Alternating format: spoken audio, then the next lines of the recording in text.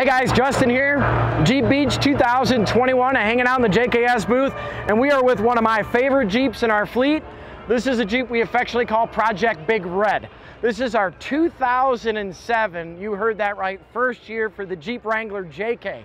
Uh, this Jeep has been there and done that nationwide. You think of a trail system, this thing has driven there, wheeled it, come home.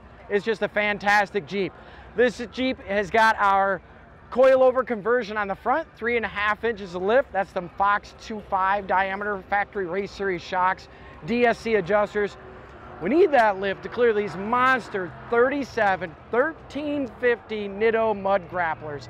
I'm gonna tell you, these tires work great on this Jeep. It's that short wheelbase, throwing a lot of just earth around at that point. We got them on the KMC Machete bead locks.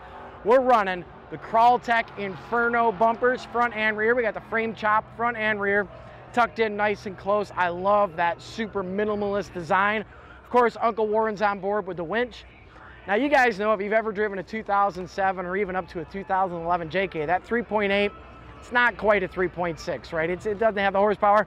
We work with our friends at Sprintex Superchargers to supercharge this 3.8, and it gets right on down the road of course, nitro gear and axle riding along with some 513 gears for us as well. So just a really, really cool Jeep.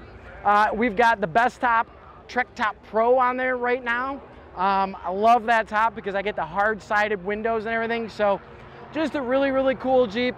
It's been in our fleet for a long time. It's never going anywhere. We just love this thing, so check it out.